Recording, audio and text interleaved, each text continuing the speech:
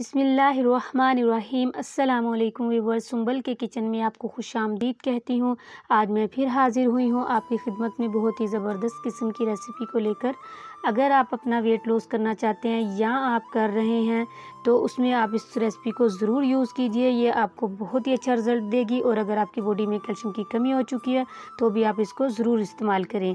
तो हमेशा की तरह आपसे रिक्वेस्ट है कि मेरे चैनल को ज़रूर सब्सक्राइब करें और वीडियो को लास्ट तक देखिए। तो चलिए रेसिपी को स्टार्ट करते हैं। तो यहाँ पे मैंने ले लिया था डेढ़ कप गंदम का और इसको मैंने अच्छे से धो लिया था और रात भर इसको गीले कपड़े से ढक कर रख दिया था। और इसके बाद जब भी कपड़ा सूखा तो इसके ऊपर मैंने पानी को स्प्रिंकल कर दिया था ताकि कपड़ा गीला रहे। इस तरह करने से आप देख सकेंगे कि एक से दो दिन में ही इसके स्प्राउट निकलने शुरू हो जाते हैं।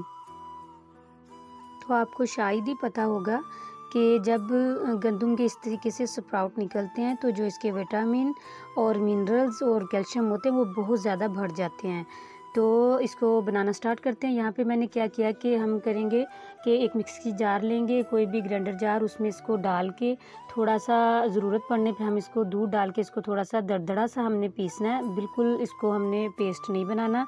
तो यहाँ पे मैंने इसको देखें दरदड़ा सा पीस लिया है। थोड़ा सा मेरा तकरीबन वन फोर्थ कप मेरा इसको पीसने में दूध लगा है।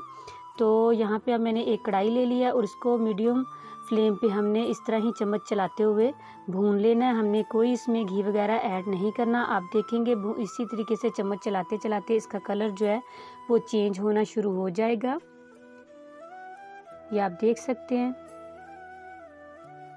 चम्मच जो है, वो अपने मुसलसल चलाना है ताकि ये नीचे लगे ना बर्तन के साथ। तो ये आप यहाँ पे देखें, इसका कितना प्यारा सा वो जो सारा इसकी नमी थी वो सारी ड्राई हो चुकी है और अब इस पॉइंट पर आकर आप इसमें एक किलो से दो किलो दूध भी इसमें डाल सकते हैं। लेकिन मैं यहाँ पे एक किलो दूध का इस्तेमाल कर रही हूँ क्योंकि मेरे पास अभी इतना ही अवेलेबल था। तो इसको हम अब दूध में पकाएँगे और साथ में चम्मच ज़रूर चलाते जाना आपने, चम्मच नहीं रोकना ताकि नीचे ना लग जाए। यहाँ पे मैं डाल रही हूँ तकरीबन आधा कप मैं यहाँ पे इसमें चीनी का डाल रही हूँ तो साथ में पकाते जाएँगे। और दूसरी साइड पे हम इसको अच्छा सा कलर देने के लिए मैंने वन टेबल स्पून पानी में वन टेबल स्पून ही मैंने कोको पाउडर डाल दिया। इससे बहुत ही अच्छा फ्लेवर आएगा और बहुत ही अच्छा कलर आएगा। तो इसी तरीके से ये बना के हम साइड पे रखेंगे। और इसके जायके को और ज़्यादा मज़ेदार करने के लिए मैं यहाँ पे डाल रही हूँ फोर टेबल स्पून ये कोकोनट का जो बुरादा होता है, ये होममेड है मेरा। इसकी रेसिपी भी आपको मेरे चैनल पर मिल जाएगी। तो ये इसमें मैं डाल रही हूँ। तो अब भी मैं इसमें डाल रही हूँ, ये पाँच से छः अदद इलायची थी जिसके मैंने दाने जो हैं वो निकाल के, हल्के हल्के से इनको मैंने दरदरा सा पीस लिया है। बहुत ही अच्छा इसका भी टेस्ट इसमें आएगा। तो इस तरीके से चम्मच हमने हिलाते जाना है। तो इस पॉइंट पर आके देखें कि दूध भी खुश्क हो गया है। तो अब हम इसमें डालेंगे वो जो हमने मिक्सचर बना के रखा था, कोको पाउडर का ना। तो ये इसमें डाल देंगे। इससे बहुत ही अच्छा फ्लेवर भी आता है और कलर भी बहुत अच्छा इसका हो जाता है। तो इसको अच्छे से डाल के इसको अच्छे से मिक्स कर लेंगे।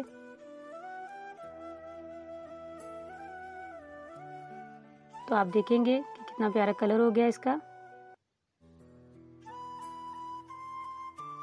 तो साथ ही में आप अपनी मर्ज़ी के ड्राई फ्रूट डाल सकते हैं। मैं इसमें डाल रही हूँ बादाम। मैंने इनको ज़रा मोटा मोटा सा कट कर लिया था। आप अपनी मर्ज़ी के कोई भी ड्राई फ्रूट इसमें डाल सकते हैं। तो अब इसको अच्छे से हमने मीडियम फ्लेम मैंने किया हुआ है। तो चम्मच चलाते हुए हम इसको पकाएँगे। ये देखें, जैसे ही आप किसी भी, कोई भी बर्तन यूज़ कर सकते हैं, ज़रूरी नहीं आपके पास नॉन स्टिक हो। तो ये देखें, आप इसको, इसकी कंसिस्टेंसी देख लें और अब इसने बर्तन में इकट्ठा होना शुरू हो गया है यहाँ पे और यहाँ पर आपके पास अगर देसी घी पड़ा हुआ है तो आप वो यूज़ कर लें। मेरे पास मक्खन था तो मैंने टू टेबल स्पून इसमें मक्खन के ऐड कर दिए हैं। तो आपने देखा कि ये सारी मिठाई हमारी आ, बिल्कुल आप इसको ऑयल फ्री ही कह सकते हैं। बस मैंने लास्ट में थोड़ा सा डाला है। आ, अगर वो भी नहीं आप डालें तो ये फिर भी बेस्ट बनेगी। तो यहाँ पे मैंने इसको मेरे पास सोन हलवे का एक खाली डिब्बा पड़ा हुआ था जो गोल था गुलाई में था। तो मैंने उसमें वो पेपर लगा के और उसमें मैंने इसको सारा सेट कर लिया। आप देख सकते हैं। अब मैं इसके ऊपर कुछ ड्राई फ्रूट जो है वो गार्निश कर दूँगी। ये मुल्तानी सोन हलवे की भी लुक आपको देगा। बहुत ही ज़बरदस्त। इस तरह आप बना के आप अपने किसी भी रिलेटिव को गिफ्ट भी कर सकते हैं।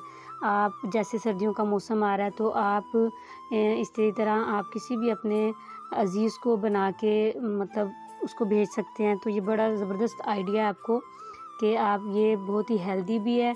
और बहुत ही आ, मतलब घर का बना हुआ फिर आपको पता है ज़्यादा हेल्दी होता है और ज़्यादा ही टेस्टी भी बनेगा आप अपनी मर्ज़ी से इसमें हर चीज़ कर सकते हैं। तो उम्मीद है कि आपको ये रेसिपी बहुत ही ज़बरदस्त लगी होगी। तो जब आप इस तरीके से कर लें फिर उसके बाद इसको आप इस तरह रैप कर दें। तो रैप करने के बाद आप इसको ढक दें तो आप ये देख सकते हैं। तो ज़बरदस्त सा ये बन गया है। कोई भी नहीं कह सकता कि ये आपने बाज़ार से नहीं ख़रीदा। तो उम्मीद है कि आपको रेसिपी बहुत ही ज़बरदस्त लगी होगी। तो इसी के साथ मैं इजाज़त चाहती हूँ। दुआओं में याद रखिएगा। मिलूँगी फिर एक नई और आसान रेसिपी के साथ। अल्लाह हाफिज़।